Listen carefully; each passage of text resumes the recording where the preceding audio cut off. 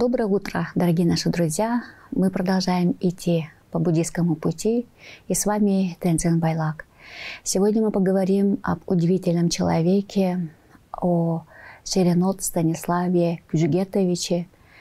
Это целитель, буддийский практик, учитель, которого звали Серенот Пашке. И он внес огромный вклад в деле возрождения буддизма в Туве. Серенот Пашке родился 4 октября 1949 году в городе Шаганаре Лухемского Кажуна.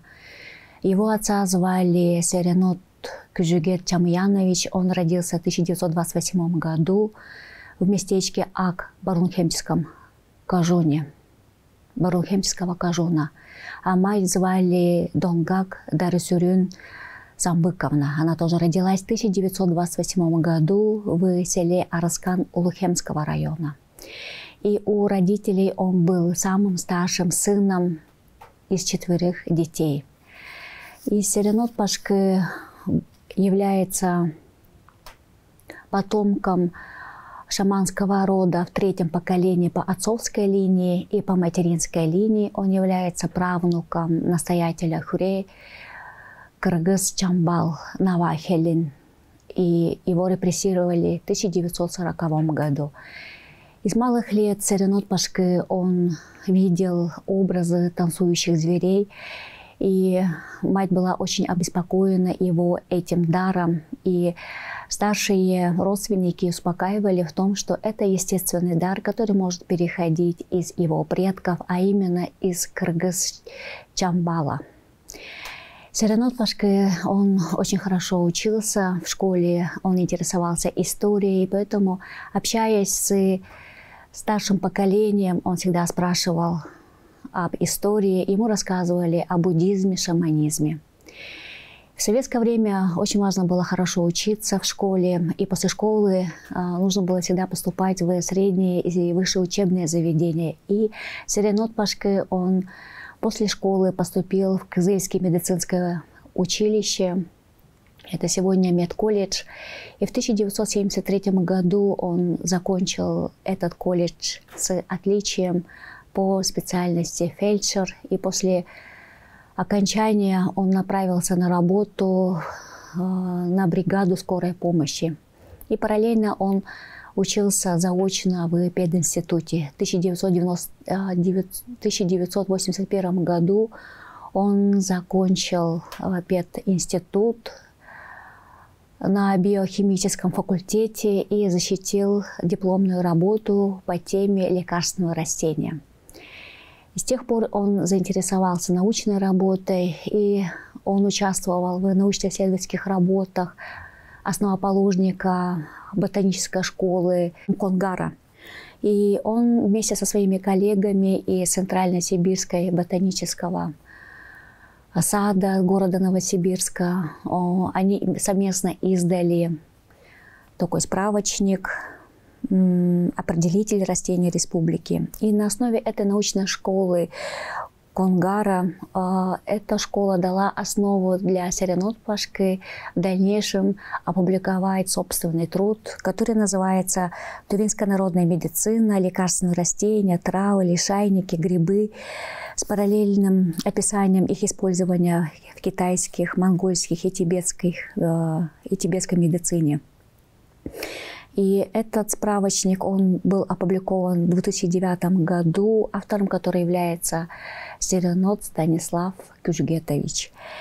В 1990 году он прошел курсы по китайской медицине, и когда в 1992 году его святейство Талай-Лама XIV прибыл в Туву, он осветил Дуган, молитвенный дом э, в Хайракане.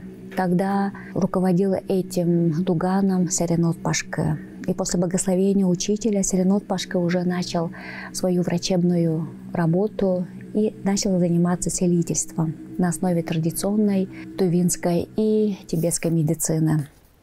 И чтобы совершенствовать свою лечебную практику, он постоянно стажировался у таких учителей, как у Камбаламы, а, Ганден Хуре, Геше Гатонна, города Уламбатора в 1991 году, у доктора тибетской медицины Сунгарын в 1996 году, у практиков э, Курганского центра духовного возрождения цвета радуги и так далее.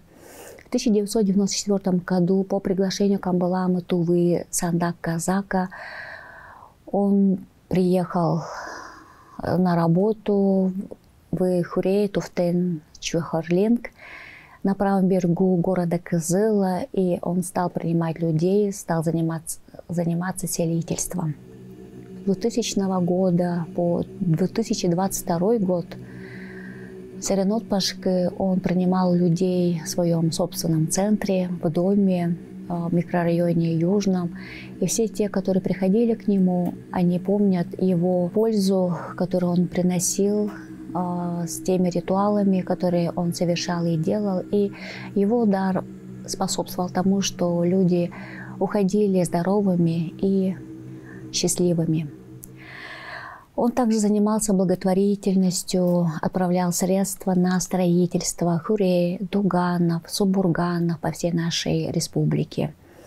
И Серенот Пашки спонсировал также хураков, и он обучал молодых людей здоровому образу жизни. Он передавал знания по духовным практикам.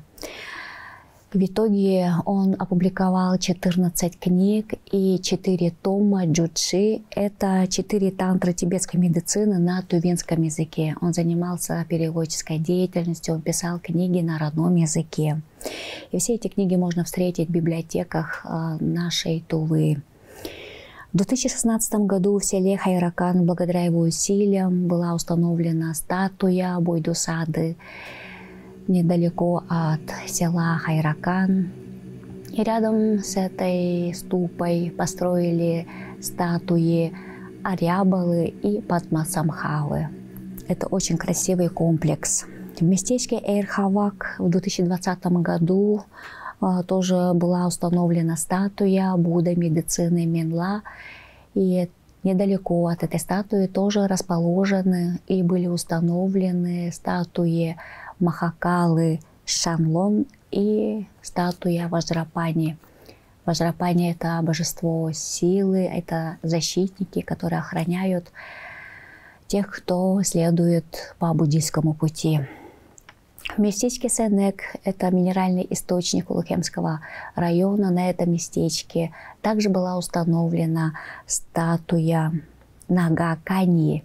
Она была освящена, и те, кто посещают это место, они получают благословение от этой статуи.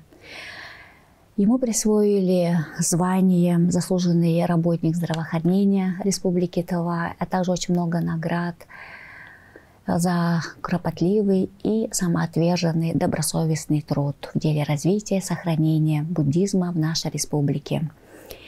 И Э, в этом году, в феврале месяце, в Национальном музее Республики Тыва презентовали книгу Джучи, это четыре тантры тибетской медицины. И эту работу завершили его семья, его супруга Нина Тажоловна Серенот, а также дочь Саглай и сын Сайдаш. Благодаря его семье деятельность продолжается, духовная работа с населением также продолжается. Его дочь э, Саглай, она является руководителем центра Сарасвати, это женский клуб, и они приглашают туда всех женщин, которые заинтересованы духовной практикой, и совместно они проводят разные мастер-классы. И все желающие, которые хотят э, посетить э, те или иные мероприятия этого центра, они могут войти в группу в Вайбере, которая называется Сарасвати. В настоящее время несколько паломников, учеников, они уехали на учение его святейства Далай-Ламы в Тарамсал. В том числе а, мы видели фотографии Саглай, а, как она получала благословение. И она показывала а, книгу, публикацию истории его отца. Э, в нашей студии мы принесли книгу Серенот Пашки. Это книга которая была издана в 2010 году, которая называется «Сары шажының тайбырлы словары». И здесь на тувинском языке, как в толковом словаре, все термины описаны, и они очень хорошо объяснены. Далее в нашей студии есть вот такие книги, которые называются «Шағандағы тываламалардың болғыш хүрелерінің төгізі төгі материалдары сақтығышқандар». Эта книга была издана в 2016 году, и Здесь можно встретить э, биографии буддийских лам, начиная а, с конца 18, 19 и 20 века. А, эти материалы, они были тоже взяты из э, рукописного фонда ТИГИ, ТИХПИ, и на основе а, архивных материалов Национального музея Республики Тыва Здесь есть также а, описание всех а, имен буддийских учителей. И на обложке этой фотографии а, фотографии буддийских лам Бурятии, в том числе вот Хомушку Кенденцерюмпашка. Мы а, некоторые имена озвучивали на прошлых наших передачах, и большинство мы осветили – рассказали, показали фотографии. И также рассказали несколько историй разных хурей, которые были в нашей республике до 1930 года. А далее есть вторая книга Серенот Пашкы, которая называется «Сары шажын хурейлерінің туду уран жүйілі касталгалары болгашлама башкаларының идикеви эт херексели Здесь э, Сернут Пашкы э, показал все атрибутики буддийского, буддийских принадлежностей. Э, это те принадлежности, которые используют ламы в момент проведения ритуалов. Тут еще описаны одеяния буддийских лам, наименования. Это очень такой иллюстра... иллюстративный источник.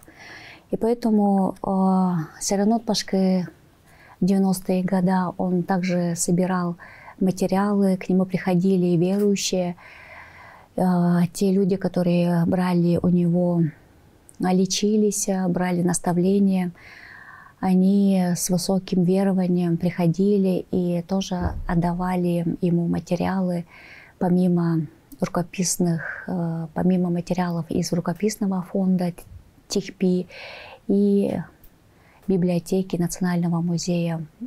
И в итоге мы можем сказать, что Селенот Станислав Кужгетович является народным учителем, он принимал людей, он также брал знания, э, изучал историю. И а, самое удивительное является то, что он мог опубликовать все эти книги на тувинском языке. И это является большим достижением. И новое поколение, молодое поколение, они могут а, изучать и также продолжать а, исследовать э, тему по истории, по биографиям, по разным терминам, по лекарственным растениям, по медицине, по тибетской медицине. Поэтому этот пласт знаний, он еще не изучен. Приглашаем наших э, учеников, соратников, практиков, те люди, которые заинтересованы в этих знаниях. А вы в таких обсуждениях, где мы можем встречаться и вспоминать, разговаривать, обсуждать все истории, связанные с вашей семьей. Мы можем э, приглашать всех на интервью, и в итоге мы можем также издавать такие книги, э, делать публикации для того, чтобы в будущем наша история сохранилась в печатных изданиях, чтобы помнили молодые люди, и чтобы они знали, какова наша история, из чего она состоит и куда она движется, и как повторяется история буддизма в нашей республике. До свидания.